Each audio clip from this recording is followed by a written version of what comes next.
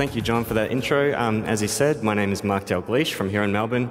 Um, I'd first like to clear up, I actually didn't found, uh, found Melb.js. That actually, the credit for that goes to um, Tammy Butow and Annette Burgo, so big thanks to them for that. Uh, I'm merely carrying the torch in that regard. So, as you may know, I'm here to talk about taking JavaScript out of context. What does that mean? Well, basically, I'm talking to you about this, one of the scarier parts of JavaScript. Because I'm sure we've all written code that looks something like this. We've got a, a classic click handler, and inside of it, we're referring to this. Now, this here refers to the element that triggered this handler. And inside of this handler, we might want to do something asynchronous, like we've got a set timeout here where we want to, one second later, update the content of this element. Except that second uh, reference to inner HTML doesn't seem to work. The, uh, the text doesn't update. And your reaction might be something like, what? Like, what happened? I, this was one thing and now it's something else for no apparent reason. I didn't change it. It's very strange. Next, you might, uh, you might have an object that has a method on it, say hi. You might have looked this up dynamically. You're going to save a reference to this method in a local variable. And so now you call this method via this variable we've set up. And instead of saying, hi, my name is Mark, we get, hi, my name is undefined. And your, your reaction to this is like, really, JavaScript? Like, that doesn't make any sense to me at all. Um, an error would have been nicer, maybe, I don't, I don't know. And finally, you might do something like this, where we, you've got a method already, all ready to go. You don't need to set up an anonymous click handling function, so you just pass it in, right? And you click the element, and once again, we see the same kind of behavior happening where uh, the value is not coming out correctly, it doesn't, doesn't seem to work. And this is the point where people probably lose it with JavaScript. They flock to Twitter and vent. And, and you know what? I, I don't think that's a completely irrational response because what's happening here doesn't really help us form a clear mental model of what's happening mechanically here. Um, so what I'd like to do first is, is fix this and make sure we're all on the same page as to how context is resolved in JavaScript. So the very short version, enough to get you out of hot water, is to first understand that every function in JavaScript shadows the value of this. So whenever you see a new function, it's got its own this that's going to clobber the, the one in the outer context. So a, a, a, recipe for you to figure out what the value of this is in any given function is to look at when the function is called. Because when that happens, I want you to look to the left of the dot. So here's a very simple example where we call person.sayHi. Person is to the left of the dot, so person is the value of this. It's really that straightforward. Um, if it's just a plain function call, even if it's a reference to what you think is a method, there's nothing to the left of the dot when we call it, so this defaults to the global object being window or undefined in strict mode. And also we have constructors where we invoke a function with new, and in that case we get a new instance, and this refers to that new instance. So that's enough to kind of figure out what the value of this is, but what, what we haven't done is figured out what's actually going on, and, and more importantly, why. So let's dig into that a little further. Now, um, Ben sort of did it subliminally, I guess, for me already, but I'd like to implant in your mind the image of Schrodinger's cat the classic thought experiment from quantum mechanics, this idea where we have a cat in a box that's both alive and dead, and it's only when we open the box that it takes the form of one of these two potential outcomes. Um, in this case, unfortunately, the cat is alive. Um, so that may seem a bit strange. Keep that in the back of your mind, it'll make sense soon.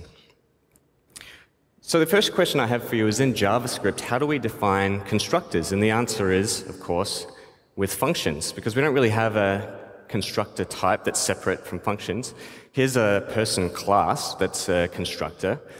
And um, it's really just a plain function if you look at it. And so much so that we have to uppercase the first letter purely out of convention so that other developers have a heads up that this is a constructor so that they invoke it the correct way.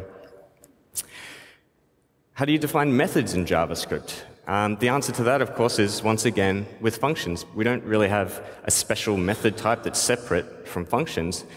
Ultimately, a method is just a function that happens to be on an object. In this case, we have a person object we've defined on the fly, and it has a say hi method, but look at it again, it's really just a function. So if, if everything is implemented as a function in JavaScript, you've really got to ask yourself, you know, what, what happens if we start to be a bit more devious here and do some unexpected things? Um, here's, a, here's a very simple example where we define a say hi function, just a plain function. And then we have a, a person object with a say hi property that points to this, this function. So now it's kind of like it's a method as well. So we can call this function directly and treat it like a function. We can invoke it with new, and it's going to act like a constructor. Or we can access it via the person object, and it's going to act like a method, and, and um, it's, it, it's different in every case. So if we, if we think about context in all three of these things, you've got window, you've got the new instance, you've got person, um, and it all depends on how we called it. So we have the same function in memory, just one function, but it's being called in three completely different ways, and the context is shifting constantly. Um, Axel Rauschmayer, who spoke at Web Directions South last year, he, um, he described the problem as being that current uh, functions are playing triple duty. And I think that's actually key to why context is so difficult to, to wrestle with in JavaScript. Because often we get our wires crossed and we want it to act like a method, but actually we call it like a function. Because if you look at a function and you ask yourself, is this a constructor, is this a method, or is this a plain old function? Uh, while you may think it's one of these three things and it, and it, would have been written in such a way, ultimately it's the calling code that decides which one of these three things it's going to act like. So I'd like to think of it like in JavaScript we have these Schrodinger's functions, where when you define a function, it's at once equally a constructor, a method, and a plain old function. It's only when we open the box, the act of calling the function, that we actually uh, decide which one of these three things it's going to act like. Where this gets especially tricky and often bites us, as we've seen earlier, is when you're passing a callback to someone else. Because what you've got to remember when you're passing functions around is that you're not the calling code. You're just handing a reference over to someone else and they're going to run it. So what does that mean? Um, let's look at a very, very simple example. This is run as callback function, and all it does is take a function in and run it. Now, if we think about our look to the left of the dot rule that we talked about earlier, there's no dot here, there's no uh, implied context. So what happens is this will run in the context of window. Where this trips us up is we may think we're passing in a method. So to you, it's very clearly a method on the, the person object. But once it crosses that boundary, um, the context is lost. And that's where you'll get hi, my name is undefined, because it's looking for a property on window, which is not at all what you might have expected. So can we explicitly set this? Can we get some control back in this highly dynamic environment? And um, luckily we can. So in JavaScript, when we're calling a function, um, functions are objects and they have methods, so we can use the call and apply method that exists on all functions. And basically what this allows us to do with the first argument uh, is to specify the, the, context explicitly rather than letting it get figured out uh, dynamically. When you're passing a method uh, around as a callback, um, what we want to do is we want to lock in the context and say, here's the method, but whenever you invoke this, we definitely want the value of this to be person, because if it's not, bad things are going to happen, as we've seen. So this is a very simple way, using the bind method on every function, to, to set in stone forever for this function the value of this. And when you're trying to maintain the context, uh, when you're nesting functions, as we've seen in our click handler example from earlier, um, bind comes in handy again because what we can do is we can bind this into the new function. So what that does is it says whatever the outer context is, if it's a DOM element, we want that to carry on through. Um, don't bother creating a new value of this being window. That's completely useless to me. So we can see that um, even when you get your head around it, it's, it's, it's quite tricky. You know, is, is this worth it? Because even for seasoned JavaScript veterans, it can be a bit like this. You, you know, you're, you're wielding context really well, and then you smack yourself in the face once again. Because it's, it's really, it, it can be a challenge to kind of keep track of it. So what I want to talk about uh, for you, uh, with, with you briefly is another option that I, I really like, which is to only use functions as functions. And, and what do I mean by that? Well, here's a very simple example of something that's kind of doing the job of a constructor. This is a make person function, and whenever you call it out comes a new person object. But that object is kind of defined on the fly. It's just an object literal at the bottom there, and it has a say hi property that points to a say hi function that we've uh, defined in this function here.